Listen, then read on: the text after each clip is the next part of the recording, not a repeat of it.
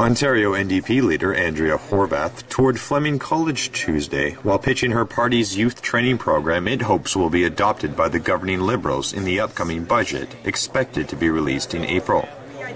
Speaking to students, staff, and faculty at Fleming Tuesday, Horwath said her party's First Start Youth on the Job training program would create 25,000 jobs for young people and would not be reliant on federal funding. The program would work as a partnership between government and business and would require $78 million in government spending the first year and 117 million the following year to fund on-the-job training. The NDP said the government could pay for the program by closing corporate tax loopholes. Galen Eagle, Peterborough Examiner.